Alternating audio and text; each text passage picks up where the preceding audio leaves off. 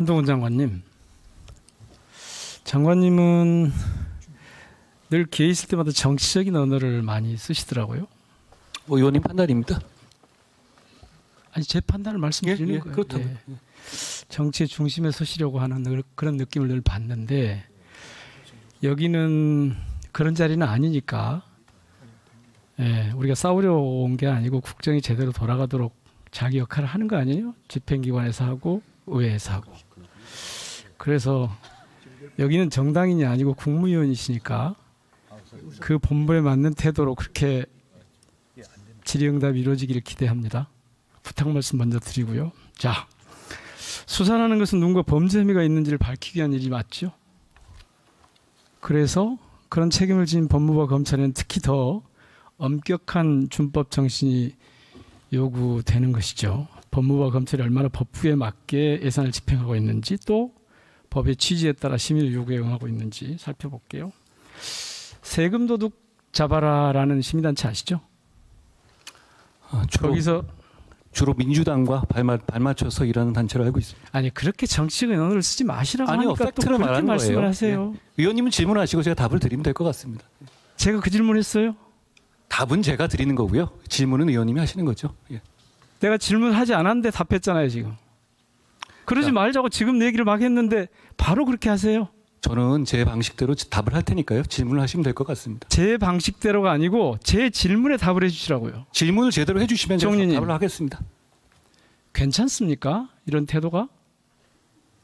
질문을 할 수 없게 만들잖아요. 위원장님. 시간을 멈춰 주십시오. 잠깐만.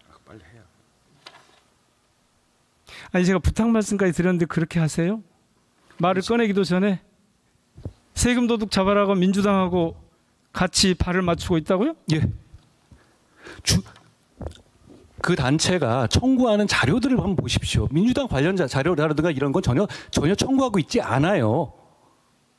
질의를 못하게 하시네. 자, 아, 질의를 하십시오. 좋습니다. 제 질문에 답을 해주시라니까요. 자꾸 딴소리 하지 마시고 장관이 왜 그러세요? 질의를 하십시오.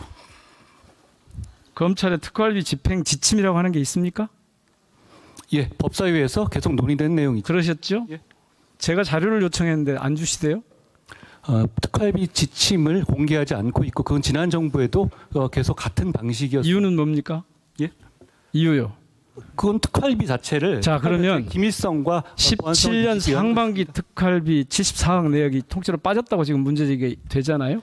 위원이 17년은 문재인 정부 때 얘기입니다. 아니, 게다가 문재인 정부 얘기하는 게 아니고 지금 이미 빠졌는데 여러 차례 감찰에 나온 다음에 그건 제도에서는 넘어간 문제거든요. 그 특활비 집행. 그 자료. 계속 아니 제가 그거 물어보시면 묻고 있는 게 아니잖아요. 왜 자꾸 방해하세요? 질문하십시오. 특활비 집행 자료 정부 공공 기록물입니까 아닙니까? 공공 기록물이요? 예. 어, 공공 기록물에 해당하죠. 공공 기록물이죠. 그런데 왜 없습니까? 폐기됐습니까? 위원님, 그 얘기 이미 법사위에서 여러 차례 나온 이야기인데요. 아니 제가 묻고 있으니까 법사 얘기하지 말고 지금 얘기하세요. 왜 없냐고요? 아니 법사위 이미 여러 나온 얘기이고 2017년 초반에 그 부분에 보관되지 않은 것이 확인됐고요. 자, 그 이후에 제도 개선으로 그 이후에는 보관하는 그러면 이게. 무단폐기고 예. 그 무단폐기면 공공기록물 관리법 27조 1항 위반인 거 아시잖아요. 여기 심의를 거치게 돼 있는데 그때 그럼 2017년에 문재인 정부의 사람들이 아니, 왜 문재인 정부를 제가 넘어갔습니까? 장관님, 예, 한동훈 장관님, 예. 제 질문에 답을 하시라니까요. 자기 얘기 하지 정확하게 말고. 드리고 있어요. 아 참. 장관님, 예, 제 질문에 답을 해 주시라고요. 제가 그러고 있습니다. 제가 질문하지 않은 것만 계속 답하잖아요. 위원님이 원하는 답만 드릴 수는 없죠. 아니 제가 묻는 것을 답을 해줘야 위원님이 국정이 제대로 돌아가는지 이미 여러 가지 법무부가 일을 제대로 하고 있는지 예산을 제대로 쓰고 있는지 확인할 거 아니에요. 예. 어디서 그런 태도를 계속해요. 제가 처음에 이렇게 하지 말자고 부탁까지 드렸잖아요. 좀 품위를 지키면서 하자. 싸우러 온 게 아니다. 저야말로 그렇습니다. 예. 근데 왜 그렇게 시작하세요? 시간 아니, 다 가버리잖아요. 위원님의 질문 자체에서 위원님이 입맛에 맞는 답을 드려야 하는 건 아니죠. 이거 보세요. 세금 도둑 잡아라는 시민단체가 민주당하고 관계가 있는지 제가 물었습니까? 물었어요?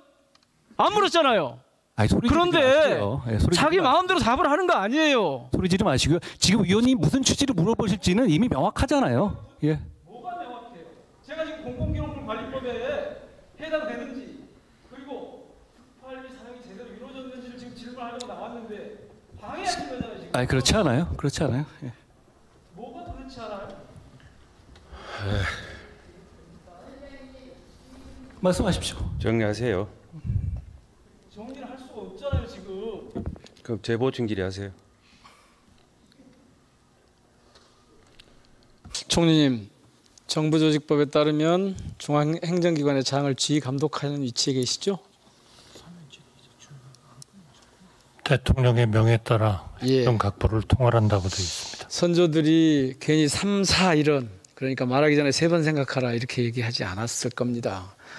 선무당이 사람 잡는다고 잘 알지도 못하면서 함부로 말을 하면 안 되겠죠. 더욱이 주권자인 국민을 대리해서 국회의원이 묻는 자리인데 국무위원은 좀 낮은 자세로 경청하고 답하는 게 도리라고 봅니다. 방금 한동훈 법무장관은 제가 질의하지도 않았는데 세금 도둑 잡아라가 민주당과 발맞추어 일하는 단체라고 했습니다. 참 질의하기 아까운 시간입니다만은 이 단체 명예가 걸린 일이니까 바로 잡으려고 합니다.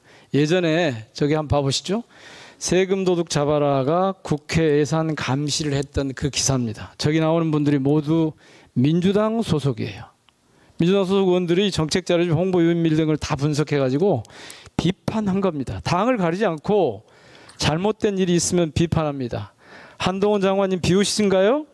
현재 윤석열 정부에서 비판적이라고 함부로 그렇게 재단하면 안 돼요. 잘 알고 말씀하셔야 돼요. 대단히 부적절하고 잘못된 자세입니다. 지금 특활비 요청하는 거 다 윤석열 당시 시기와 저를 타겟으로 하고 있죠. 그렇게 대한 거 아니에요. 총리께서 바로 잡아 주십시오. 늦은 시간까지 결산 심사로 애쓰는 모든 공직자 그리고 이 상황을 지켜보는 국민들께 정말 죄송한 일입니다. 저는 국무위원이 국회와 주권자 시민을 무시하지 않도록 단도리 쳐주시기 바랍니다.